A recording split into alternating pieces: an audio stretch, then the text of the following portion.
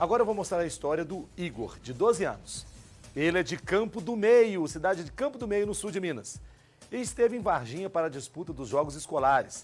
O garoto joga handball e chama muita atenção. Isso porque ele teve que amputar parte das duas pernas. Entenda melhor na reportagem. Para você que está em casa reclamando, você está reclamando que está com dor de cabeça? Você está reclamando que a tua vida está difícil? Olha só que exemplo esse menino aí. Vamos ver, balança. Ainda no alojamento, os últimos acertos do time de handball da Escola Estadual Doutor José Mesquita Neto. Os atletas estavam ansiosos para a disputa da final dos Jogos Escolares de Minas Gerais em Varginha. Entre eles está Iago, de 12 anos. O garoto de sorriso fácil é bastante tímido, mas muito admirado pelos colegas. Ele é um exemplo, né? Tipo, tantas pessoas que querem jogar e não pode porque certas dificuldades.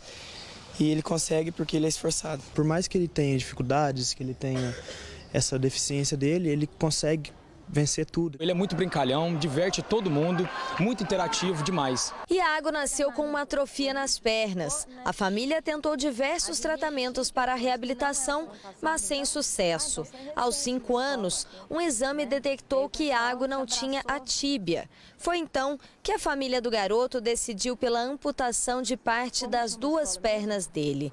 Desde então, ele usa ortopróteses, que protegem os joelhos do atrito com o chão, o que para Iago não fez diferença. Eu gosto de sair viajar para jogar. Como que é nos treinos? É muito difícil, tá doido?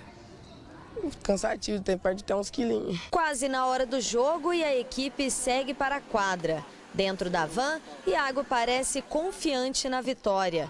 No ginásio, uma surpresa. A mãe esperava ansiosa para ver o filho. A mãe conta que, mesmo com tantas limitações e dificuldades, desistir não passa pela cabeça do filho. Ele faz tudo, até o que ele não conseguiria fazer, assim, a princípio ele faz. E até hoje está aí, com a prótese, correndo, brincando, dando trabalho para a gente, né?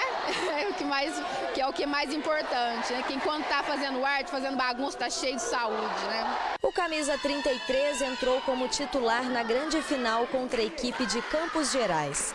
Durante a disputa, a deficiência do Iago não parece limitar as jogadas do atleta, que atua de igual para igual com os outros jogadores.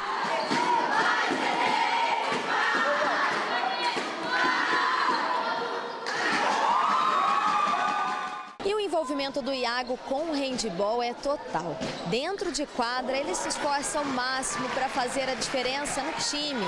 Nem mesmo quando está no banco de reservas, ele consegue ficar parado. O nervosismo está à flor da pele e o garoto não para de incentivar o time. Fim de jogo, vitória da escola de Campo do Meio. O nervosismo agora dá lugar às lágrimas de alegria pela conquista da medalha de ouro. Tá chorando aí, muita emoção, né? É, muito. E me fala uma coisa, você tem um sonho então? Tenho. Esse jogador de handball. A dedicação e o esforço do Iago chamaram a atenção até mesmo da arbitragem. E espero que ele consiga muito mais vitórias, conquistas na vida pessoal e na vida esportiva dele.